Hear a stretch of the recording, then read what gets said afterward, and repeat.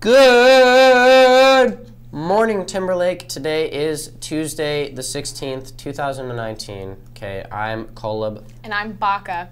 Prom is coming up May 11th at 12 or 9 to 12 in the Coeur d'Alene Resort. Tickets will be on sale now in Mr. Croc's room. Singles tickets are $30 and couples are 50 And now we have two awesome pro prom proposals for you guys right now. That's to your mom and she gave me permission to talk to you. Alright, and it's about this. Oh my goodness.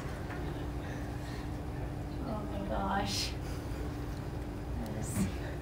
Yes, alright, that's good. What'd you say? Yes. Seth followed. Come on. Okay, ready? Keep them close. Completely close. Close, close, close. Get the full thing. okay, now ready? Okay, open. Whoa, Is it good? that is awesome. So is that a yes? That is a yes. Wow, that was so cute, guys. I know. So we happy love for the you. proposals. Amazing. So great. Yearbook sales are wrapping up, so be sure to get yours today. Now, Yearbook has another picture for you guys to guess who's who in it. So make your guesses outside the library. I think I know who that is. I think I do too. You guys should go guess. All right. Hey, some of you may remember last year when I made this absolute work of art called Everyone Has a Story. Well, guess what? I went out and did it again. I made two new videos. Okay, there, there's a lot of them, so we've split them up into about two minute chunks. Here's the first chunk. We hope that you love it as much as last year.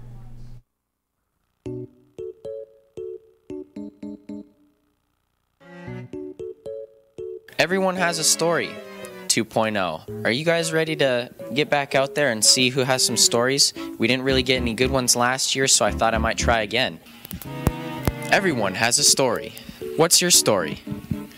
My, my story is long and complex, and uh, would take a long time to go through the whole story. You want the abbreviated version? No. Trial and error. Nice. Great story. Let's move. Gabby Ranny. Everyone has a story. What's your story? Suck an egg. You know how many times I've been told that? It starts to really get to you, you know? Everyone has a story. What's your story? Um, so the other day, it was about like midnight, right? I saw these three girls walking down that way. Um, and I knew there was nothing down that way. So, me being the smart intellectual I am, I said, Hey, ladies, there's nothing down that way. Why are you going down that way? Then they flew away. So now we're going to enter a classroom full of working students. Someone's got to have a story in there. Everyone has a story. What's your story? I'm failing my classes. I thought this was an honors class. We gotta leave. Everyone has a story. What's your story? He's going to the bathroom. Excuse me. Everyone has a story. What's your story? God, no. No.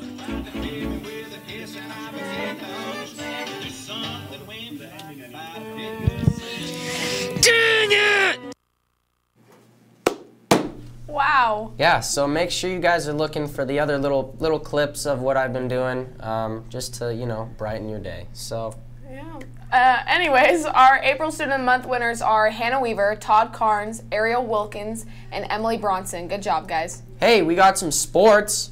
Hey, did you guys know that Ashlyn Mallett is an absolute unit? Just mm, amazing softball player. Over the weekend, she drove in 15 runs, nine in the first game, and hit a three-run homer. Okay.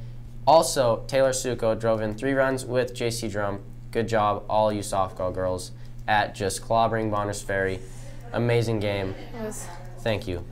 All right. And for the best part of the show, we have the lunch choices. We have chicken, Parmesan pizza, barbecued pulled pork chicken, buffalo chicken wrap, and beef nachos. Nice.